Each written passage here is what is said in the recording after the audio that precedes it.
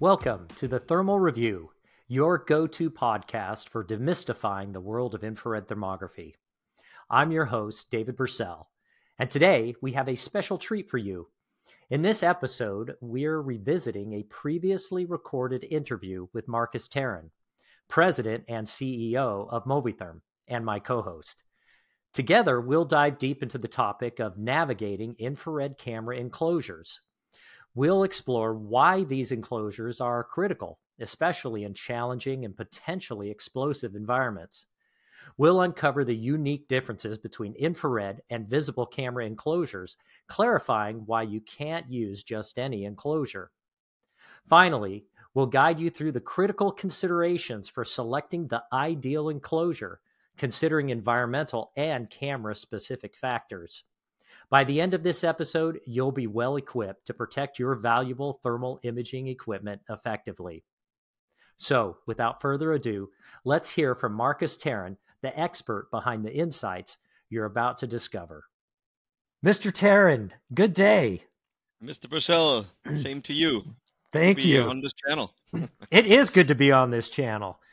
And this is a great topic uh, for us to be discussing. I know we get lots of questions around enclosures. We get lots of questions around the type of enclosure, for the type of environment, for the type of the camera. And it is somewhat of a mystery. It's, I wish it was easier. I wish you could just, you know, easily, you know, select the uh, an enclosure, any enclosure for your infrared camera. But there are things to consider. So that's yeah. why uh, we decided to uh, cover this topic in this podcast. And I, I think the best place to start, Markus, is you know why why do you even need enclosures for infrared cameras so i'm hoping markus you can kind of share because you've been doing enclosures for a long time you could kind of yeah. share your experience why, why why are enclosures for ir cameras even needed yeah it's a very good question um, especially when you consider um, a lot of these cameras these days have already, let's say, an IP67 sort of a uh, you know environmental protection rating. So then the question becomes, well, why why do I need an additional enclosure around it if this is an outdoor rated camera, right? Yeah. So those are the very excellent questions. So sometimes the environment gets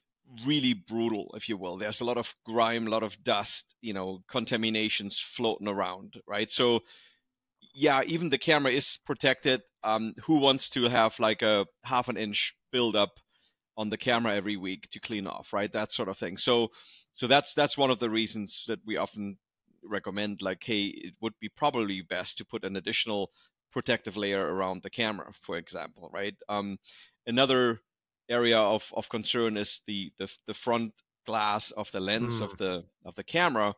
Uh, since we're dealing with thermal cameras, is often germanium um, and it's a bit sensitive. So if you have a lot of stuff flying around, you want to make sure um, that doesn't get scratched or damaged or contaminated again. So um, because the replacing the lens on a thermal camera is is a big deal. It, it, it's very expensive, several thousand dollars typically, and it also requires you to take the camera out of commission, send it in for service, get a new re- uh, replacement lens put on, a new calibration. I mean, it's a big deal right? Yeah. Um, nobody wants to deal with that. Whereas if you have um, a thermal camera enclosure, you have a window. It's also made out of germanium, but um, you know it's easier to clean, and if it does get damaged, it's easier to replace, right? And it's not as costly, and it protects your camera. So that's really, in a nutshell, uh, why that is.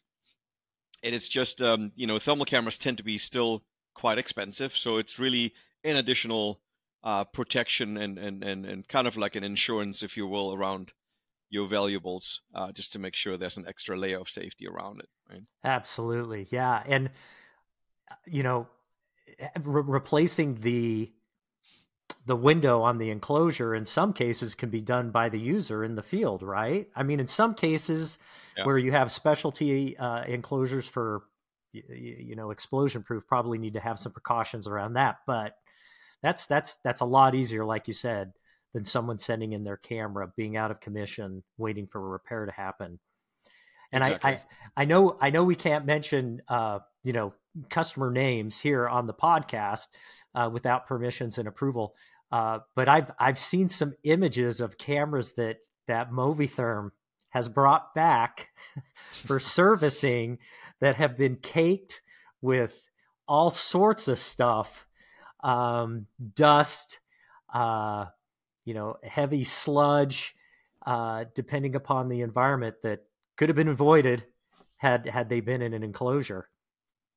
Right, and we I'm remembering that's probably what you're referring to. This one case where um, I I would have bet money on that that camera was complete a complete loss, but it was actually still working after we cleaned it up. It was it was actually still functioning, which was amazing. Uh, but yeah, I mean that that those are exactly those kind of examples where you know that's kind of um, you know to be considered uh, a good yeah. candidate for for an enclosure, right? It definitely that particular situation. Yeah, we're thinking the same one. It speaks to the robustness of of that particular camera and that camera brand. But uh, wow, I, I that's probably not normal uh, that that the camera would survive such an environment. I'd I'd I'd like to help our listeners understand why why they can't or why you anyone can't use you know just a standard enclosure off the shelf for let's say a visible camera for a thermal camera. Uh, maybe you can explain why you have to have an enclosure specifically designed for thermal. Yeah that's another good point. Um, so we're dealing uh, unlike with um, a standard surveillance camera or something we, we're dealing with a different wavelength of, of light if you will um, that is not visible to the human eye, right? So for standard cameras, you, you put a piece of glass, a piece of plastic in front of it, it can see through it, and that's all. That's all good. Yeah. Um, if you put a thermal camera in an outdoor enclosure that is intended to be for a regular daylight um, camera for visible light, um, the image will be black, there will be the camera will not be able to see anything. And the reason for that is that the glass does not transmit those wavelengths at all. So it looks completely opaque to the thermal camera. And um, we actually had a case where a customer did that. Um, they put a camera behind a plexiglass. Um, and they basically called us and said hey um, our camera's not working. We're, we're, we're seeing a black image. There's nothing happening. It's just some noise coming and then we were like, what's going on? We tested the cameras. The camera's just fine. What are you doing? and then we found out that they were putting it behind a piece of plexiglass. So, um, you know, it, again, same same situation, right? Whether it's regular glass, or silicate BK7, or if it's, um, you know, a plexiglass, um, uh, polycarbonate, or, or, something, any any sort of uh, visibly translucent material may not be translucent uh, to the thermal camera in that waveband, right? And that's the reason why we use ex- um, exotic optics, is what we call them. Hmm. Those are basically semiconductors, if you will. You know, germanium is a semiconductor material, but it happens to be transmissive um, almost entirely in in the long wave, um, and and uh, even there's there's materials for mid wave as well. Zinc selenide comes to mind. Um, so we we need to consider specific materials um, that are tuned properly and coated properly for the particular camera in its particular waveband, right? That it's sensitive to. Makes a lot of sense. Yeah. So I, I remember, and I won't I won't give all the details, but I remember years ago seeing a video. It was actually, I think it was from an infrared camera that was mounted to a helicopter or something like that, and it was showing. It was a bad guy and the bad guy initially was in a truck. And you couldn't see him couldn't see him at all. But the bad guy stepped out of the truck and became instantly visible in the infrared spectrum. And had had he had he stayed well i'm assuming it was a he i think it was had he stayed in the truck he probably could have avoided being detected at all. Uh, but in the end it, it it turned out not so great for the bad guy uh, because he did uh, exit the truck was visible to thermal and was detected yeah. So excellent point. With regards to heat dissipation and, and, and temperature at which infrared cameras run, uh, Markus, do they do they uh, run any differently? The visible cameras, is there any kind of special, like uh, you know, conduction or or, or or or or heating requirements even for infrared cameras that perhaps aren't as uh, you know necessary for visible cameras? Yeah, it's it's every time you have um, a protection because of heat, we, we have to ask ourselves several questions, right? So, is the environment that the camera is going to go into um, essentially going to be exceeding the operating conditions, um, the maximum operating temperature for the camera that you're trying to to enclose in there or or operate in that environment with or without enclosure, right? That's the first thing you're going to look at. Yeah. Um, and sometimes the situation is well, most of the time yes, but sometimes we have a process where something very hot comes by, um, and the camera would be overheated potentially for let's say a short period of time, a few seconds. Um, so even those few seconds, even if the camera survives that, it will over time degrade the camera and, and shorten mm. the lifetime of the camera, right? So yes, you can close both eyes and say, yeah, it's not that bad because it's just a few seconds. But if it's on a repetitive schedule, uh, it will definitely, uh, you know, burn out the electronics eventually, right? So because all the components inside the camera will, on a regular basis, overheat and and, and exceed their their specifications, and that's just not a good thing. Gotcha. So so you have to consider the environmental temperature conditions. Um, there's other conditions, obviously, um, but let, us just talk about temperature right now. So, so that's that's one thing. Then, then the question is, slow. Um, again, is it is it radiative heat coming from an object that you're looking at? Is it heat? Is it because the air around the camera enclosure is, let's say, permanently hot?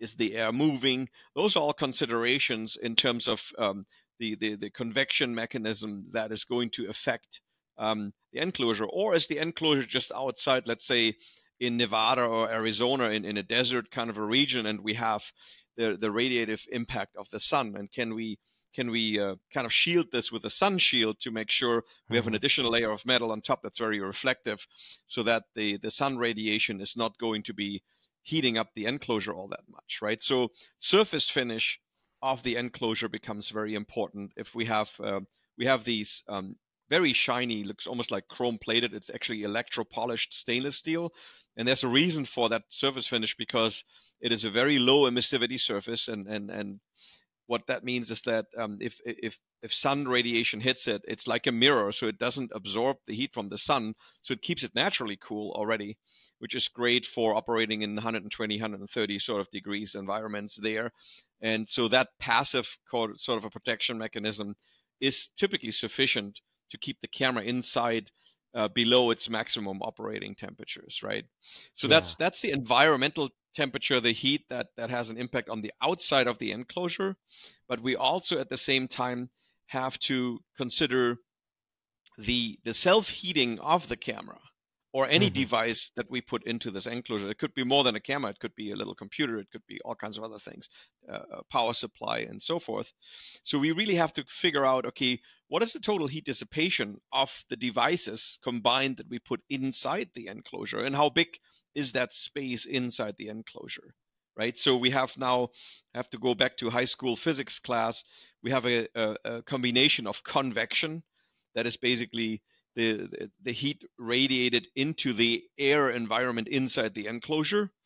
And then we have also a conduction where we have an actual metal to metal surface that's conducting the heat away from the camera. So we need to get rid of the heat that's being produced. Let's say we have a 15 watt heat dissipation inside, right? Just as an assumption. Yeah. Um, so there's a basically you can think of it as a light bulb, a 15 watt light bulb inside or a heater, basically 15 watt heater inside the enclosure now that's continuously producing heat. Well, that that heat needs to be dissipated, and and first, it's multiple steps. First, it needs to be dissipated away from the camera itself, but you can't just have it inside accumulating because then you get what we call thermal runaway, right? So you can't just pump more and more and more heat, and if the capacity to cool uh, the, the, the, that environment is basically the, the size of the enclosure and the total surface area. If that doesn't have the capacity to get rid of that heat that's being produced on the inside, in addition to being heated from the outside, hmm. then you have um, a situation. So if, if the inside heat dissipation is greater than its capacity to cool, uh, while we're considering the outside heat influences, uh, you're going to get an, an, effect of thermal runaway and, and slowly the heat will creep up and creep up and creep up and you will you will destroy the camera. Um, that's in there. So so those calculations have to be considered um, in the environment right? Yeah. So let's say you you let's say you do the calculations and you you realize we don't have enough effective you know conduction off of the surface of the enclosure into the environment you let's say you're in a pretty extreme area, high temperatures, um, what can you do? What are the, what are the options uh, for for removing that heat, or are there options? Yeah. So before we quite go there, I wanted to highlight one more thing. So if you have you have to look at the construction of the enclosure, right? So convection is typically not as effective as conduction. So mm-hmm. when you put the camera, typically you have some sort of a, a back plate that you're removing, and you have some some some slide that you move uh, that you mount the camera on. Um, primarily, folks consider that, that the folks that make the enclosure they consider that slide just a mechanical mounting provision for the camera because it it has to sit somewhere secure at a at a predictable position inside that enclosure, right, facing the front window. Yeah. So the primary concern is, okay, this is just a mechanical mounting provision. That's great, but it also has, it doubles up as a heat sink, right? So you're now mounting the metal of the camera to um, the actual, that little slide, and now it's starting to conduct heat. But if that's not very effectively done in terms of the interface between the camera enclosure, the, the mounting surfaces to each other, um, sometimes it's just like stamped metal. So the surfaces are very like slightly bent, you know. So hmm. when you would really like you press the stuff together, um, the surfaces that actually contact each other, the surface area is very poor, right? So now you're not really conducting very well. So what you're left with is a complete convection situation, right? Whereas if you have a higher end sort of an enclosure, it will it will make that surface area a very good conducting surface and to actually draw the heat away from the camera and then bring that heat into the body of the enclosure and and and so you you have a conduction mechanism primarily that that's conducting the heat away right? So so those are like some very critical differences to understand if you have an outside heat impact but also to get rid of the inside heat sort of a thing. So anyways if you're going beyond that meaning um, let's say let's pick a number. Let's say the the, the environment is 150 200 degrees yeah. on a permanent basis. Um, that is guaranteed a territory where you cannot rely on passive cooling anymore because eventually um, the the the the temperature of the enclosure on the outside will reach an equivalent to to the 200 degrees. So well, that will also mean that eventually inside it will reach 200 degrees, not mm-hmm. considering the additional heat input from the camera on the inside. So you will exceed the maximum operating temperature from the camera, right? So and it's just a question of time and it's going to happen rather quickly actually. So now you need to do forced cooling. Like yeah. you have to have an additional input um, of, of cold air or, or um, you know, there, there's different methodologies of cooling. So one thing, a very typical one is to do just run compressed air into it, right? To just have a an exchange of air to the outside. That's one option. The next level up from there is what we call a vortex cooler. That's a little device. It's a little mechanical device. Um, you, you, you put um, compressed air in and it separates hot air on one side and it outputs cooled air on the other side. It's quite an interesting device. It's not very efficient. Um, so you you're going to be it's very very um, airflow hungry. Hmm. Okay. you need a lot of CFMs of airflow, which creates cost in the operating costs, right? If you're running a huge industrial facility and you don't care about that extra air, fine, but um, consider that it, it, takes a lot of air, um, several cubic feet per minute of air going through this thing to create some cooling effect, right? So they come in different sizes, and and you have to again you have to calculate its cooling capabilities and capacity, uh, typically expressed in BTUs, British thermal units, to actually say, okay, what is able to cool needs to exceed what it's able or what what what the heat input is on on the enclosure from the outside and the inside, right? So you need to take uh, get rid of that heat inside. So sure. that's a that's a vortex cooling, right? So and you need compressed air as an additional utility to to be in this. Um, Another potential external cooling mechanism is uh, if you wanted to do it electrically, um, it's um, basically a TEC cooler, a thermoelectric cooler. Hmm. Um, and that has a Peltier effect where one side gets hot if you put current in and the other side gets cold. Um, so that's another option there. And you can stack them up for additional cooling. Again, not very efficient, Um, takes a lot of electrical energy now to cool it. Um, you know, but but it's possible if you don't have air and you have electricity available, you can do something like that, right? There's other issues that you have to consider now is condensation.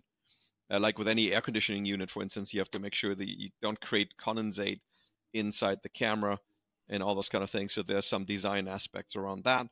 Um, and then the next level up from there is actually a liquid cooled enclosure, right? It's really, uh, you're creating, the, the enclosure becomes a heat exchanger essentially, like okay. your radiator in your car. You have a double walled enclosure and you're, you're running um, segments of, of um, tube material through the enclosure all the way around and you're running cold water through it at a certain flow rate and that essentially draws the heat out of the enclosure and it also cools the outside of the enclosure. That's for like really hot applications.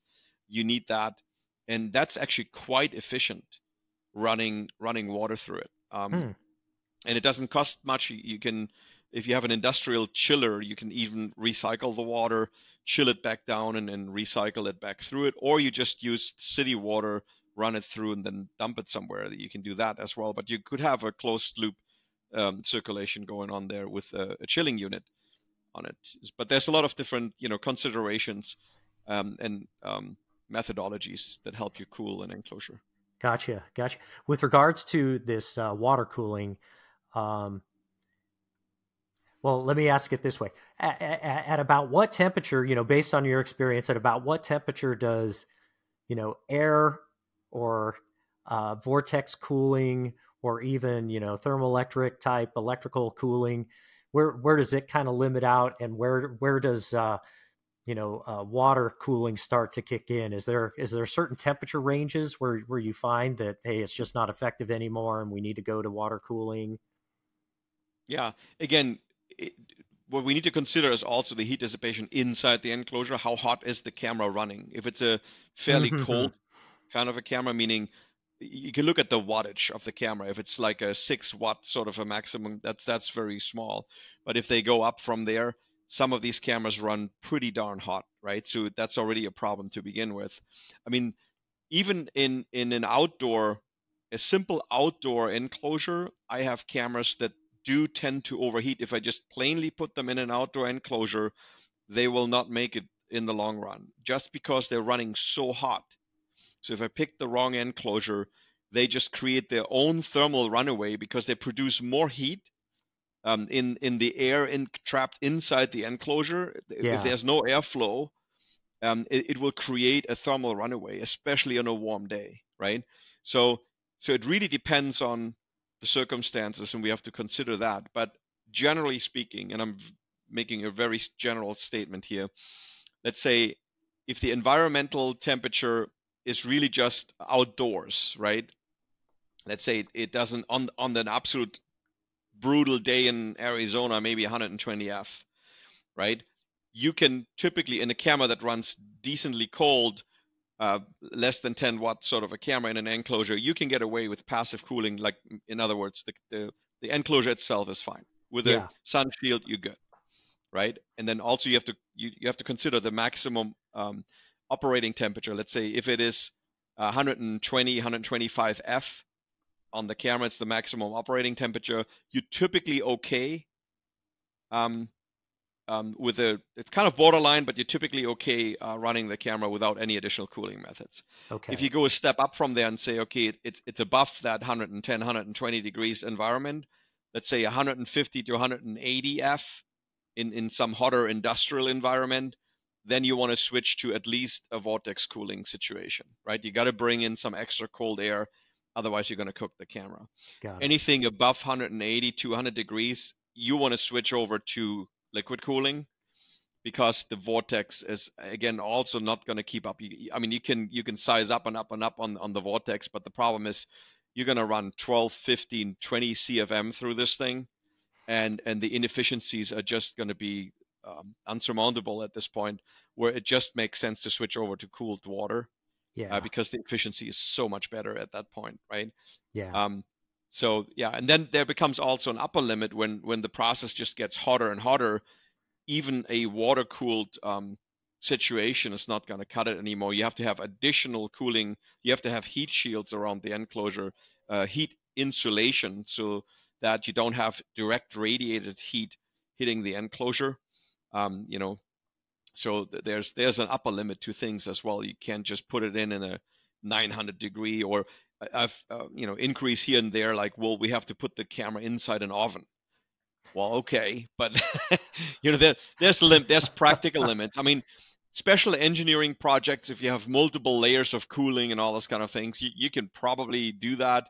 You get also issues then with the um, the optical, the the exotic uh, optics on the viewing glass because now you have to consider you have to cool the glass, but even in an oven environment, the, the the front window may not survive this either. So, you know, usually it's better to have a viewing window on the process, cooling that down and have the camera sitting on the outside rather than, you know, having all of it trying to get everything inside. That's kind of uh, tough to do, you know. Yeah, no, that makes sense, Markus. Um, when when it comes to um, let's say explosive environments, and mm-hmm. we're talking about environments that require you know intrinsically safe or ATEX or class one div 2 those are some of the the different uh, uh, rating systems that are out there with regards to uh, equipment in hazardous environments. What what are the options for infrared cameras? Are there options for infrared cameras?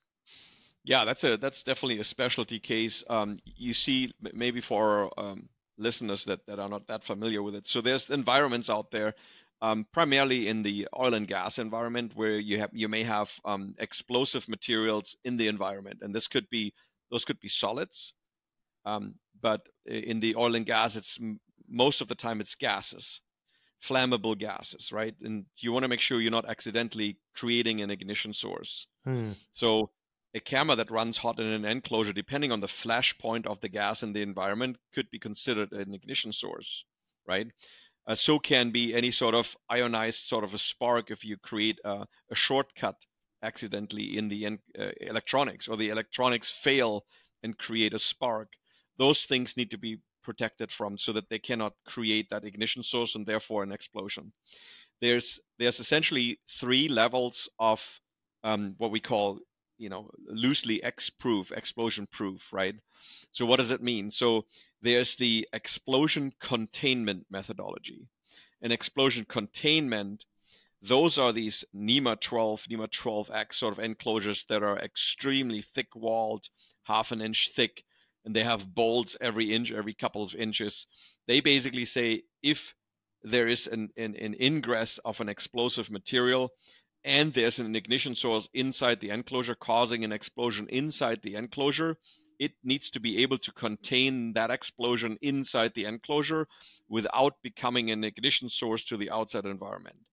So that basically means is they can literally have a full explosion inside the enclosure. The window cannot blow out. So the window is typically also like 10, 12 millimeters thick. Hmm.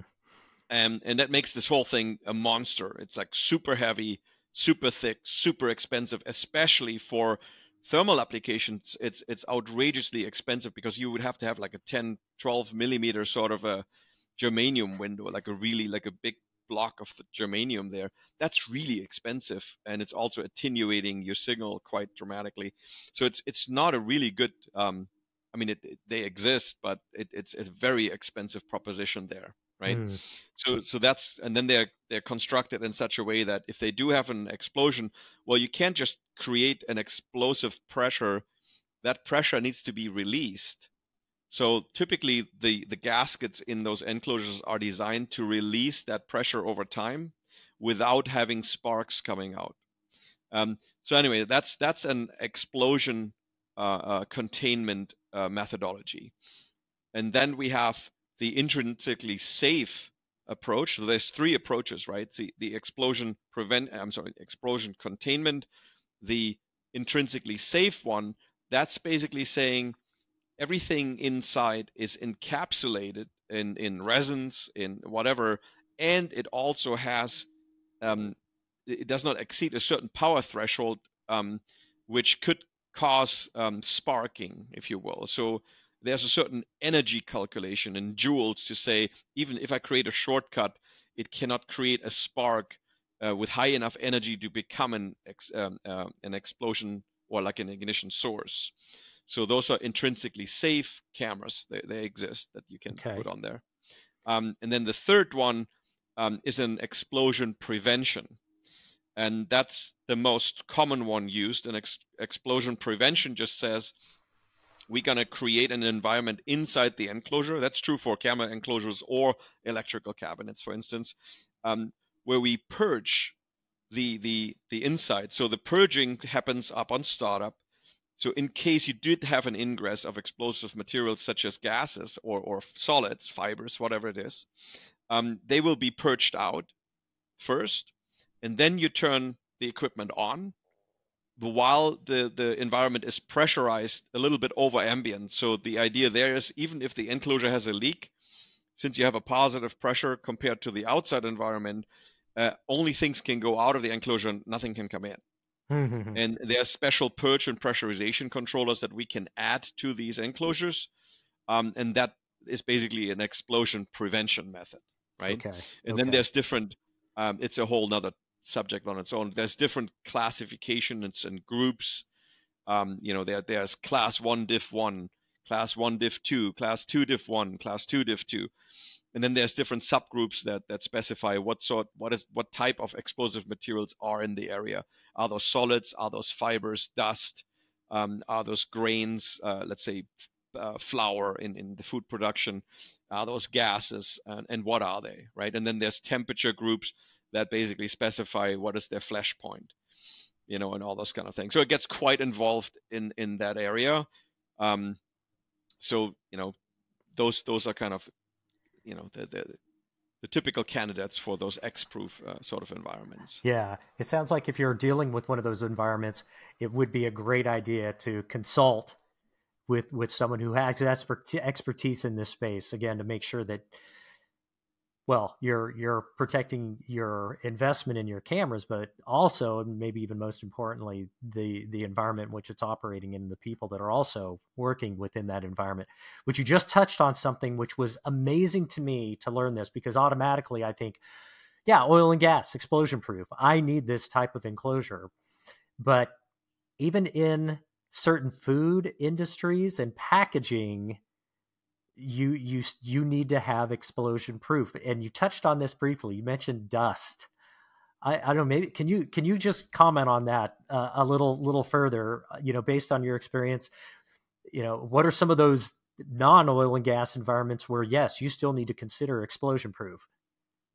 Absolutely yeah. So a lot of dust particles if they if they come in a a dense enough sort of a, an occurrence, if you will, right? If uh, they become, uh, they can become explosive. Even spices, right? If you take cinnamon, for instance, and you would take cinnamon and and and grab a handful of cinnamon and just throw it up in the air. I mean, don't do it. Don't try this at home. and you have an you have an ignition source. You're creating an explosion, right? The same thing with flour. Yeah. Um, so typically grains, anything that has some oil components in it, and, and, and you dust it up, it's it's a it's a combustion mixture. Um, you know, you, you have the right mixture between oxygen, uh, like an accelerator, uh, an oxidizer, and and um, and combustible material. You have the right mixture, and and you're in trouble. You know, so yeah, so you have this there. Um, people have probably, well, yeah, there, there's fertilizers that fall into that category. Um, you know, ammonia-based materials. I mean, they're they're very flammable to begin with.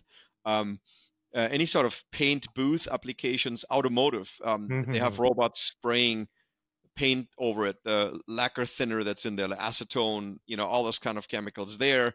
I mean, there's a lot of different explosive uh, sort of environments around, and they differentiate between is this stuff around under normal operating conditions? Then it's a then it's a division one. Uh, it's it's basically always there and yeah. that requires different methodologies of protection versus the div 2 division 2 means it's only there in under abnormal conditions. If there's a leak or something spills and and so the risk is categorized a little bit lower than the div 1 so those are things um, you know class 2 basically says it's a solid combustible material fibers and grains and all those kind of things.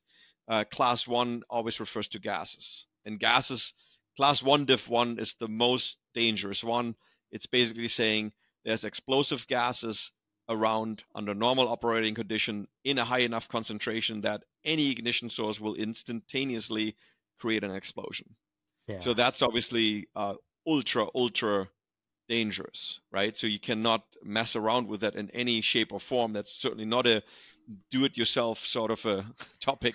We actually have to use computerized purge and pressurization systems uh, with a lot of safety mechanisms in it to make sure nothing can go wrong in those environments. Gets really expensive, you yeah. know, because it's obviously you're protecting a lot of things. I mean, people can lose their lives if if this goes wrong, right?